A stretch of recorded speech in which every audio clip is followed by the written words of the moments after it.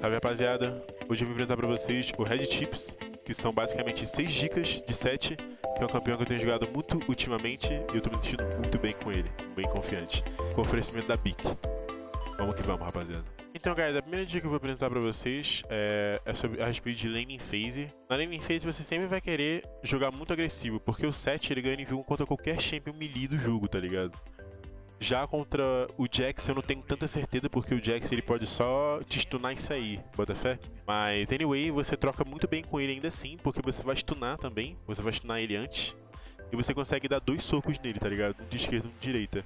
Você vai basicamente permanecer aqui, ó. Você vai ficar aqui no meio da wave. Se o cara aparecer por perto, você insta-stuna. Pera. Você insta-stuna e mete a porrada nele, tá ligado? Tipo, só vai, velho, sem medo. Você vai ganhar droga 100% contra melee. Nível 1, no caso. O 7 é muito forte nível 1. Nessa, em matchup contra melee, você normalmente vai querer começar de W. De, desculpa, é. Só em algumas matchups específicas você pode começar de W. Mas aí já são casos bem situacionais, tá ligado? Casos bem diferentes. A segunda dica que eu vou apresentar pra vocês, tomar cuidado na hora de usar o seu W.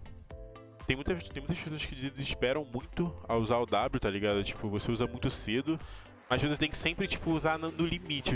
O, o 7 é um champ muito de limites, tá ligado? Porque, tipo, por exemplo, as trocas que você vai fazer no nível 1 são muito no limite também, porque o 7 ele tem muito dano no auto-ataque, e ele tem muita health regen também, muita regeneração de vida. Então isso faz com que você consiga ficar muito low e ainda assim você vai curar muito a ponto de ganhar a troca com o cara, tá ligado? É, a mesmo, o mesmo vale pro W. É bom você ficar tipo o máximo de low possível para dar o máximo de dano no seu W possível, tá ligado? Ó. Estaca full assim, ó. Pô. E é bom também se você conseguir ativar o seu escudo de uma forma que ele seja benéfico para você. Que você consiga, tipo, suprimir algum dano que você vai tomar, tá ligado? Então é muito importante você usar o seu W com muita inteligência e muita cautela. A terceira dica que eu dou para você maximizar o seu dano, você vai querer sempre stunar os caras, tentar né, stunar no máximo de range possível. Aqui o range máximo, tá ligado? Olha o range disso, cara, é muito roubado isso. Você pode tipo, até flechar assim e stunar os dois, tá ligado? É muito forte esse combo. Mas enfim, é, quando você stuna os caras assim, digamos que você tá numa luta intensa e tal, você ficou mó low e tal, tá ligado? Eu vou tentar simular aqui um pouquinho. Você tipo consegue dar, você consegue dar E é, você consegue dar E, hit e W ainda. Se o cara não tiver flash, isso, tá? Se não tiver flash, você pode ainda dar um hit e dar o W. Mas se você tiver com o W estacado full, você só dá E, E, W mesmo, tá ligado? Nem se preocupe em dar o hit, não. Não vale muito a pena. Mas se você não tiver com o W estacado e você não tiver como estacar, você pode dar E, hit W, no caso. E, hit W, que dá tempo. Se o cara não tiver flash, se você tiver certeza disso. A quarta dica que eu dou é a respeito de teamfight é, você tem que usar a sua ultimate muito cuidadosamente, porque às vezes você pode se matar, tá ligado? Sem querer. Então você tem que tomar cuidado. Tipo, você não pode ultar de qualquer jeito, sair ultando na teamfight e jogar nos caras, tá ligado? Não, essa não é a melhor forma de ultar de set. Você sempre, você sempre tem que jogar com o seu time, porque nada adianta você, tipo, se jogar nos caras, deixar todo mundo low e o seu time não conseguir dar follow-up, tá ligado? Porque você provavelmente não vai matar. A não ser que você seja muito forte, obviamente, mas não, não vai ser sempre o caso. Então você tem que tomar muito cuidado com a sua ultimate, você não pode estar de qualquer jeito. Você sempre tem que lutar quando o seu time estiver na range, tá ligado? Pra lutar com você. Você não pode ir pra cima de qualquer jeito. Então, digamos que o seu time tenha follow-up, aí você pode se jogar à vontade, vai só vai e tal, vai aqui, estuda os caras, é isso, dá o W, tá ligado? É isso, mano, ligo pra nada. Mas se o seu time estiver dando kite back, ou seja, jogando pra trás, ou seja, você deixar o time inimigo entrar, você não vai ultar até que, tipo, você, em duas situações que você vai lutar.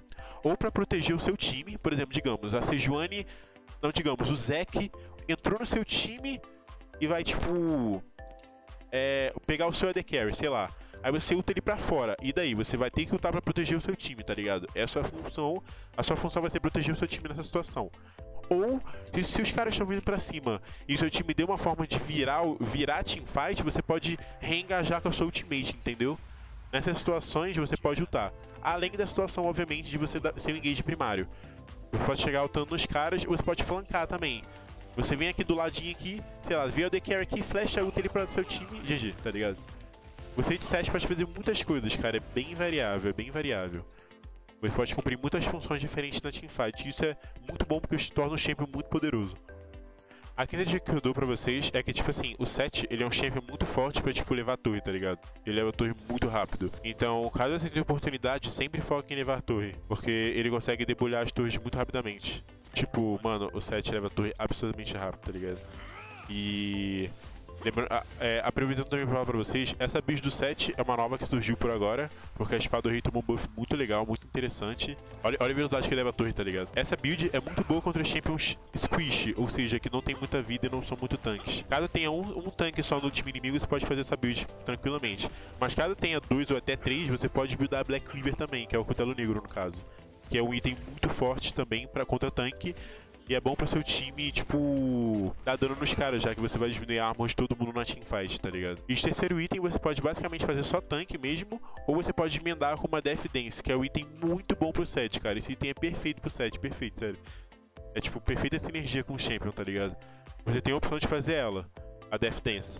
Mas se você quiser fazer tanque, assim, um item específico, sei lá, Randuin, esse aqui, Dead End que é muito bom pro set também, você pode fazer. São opções muito interessantes.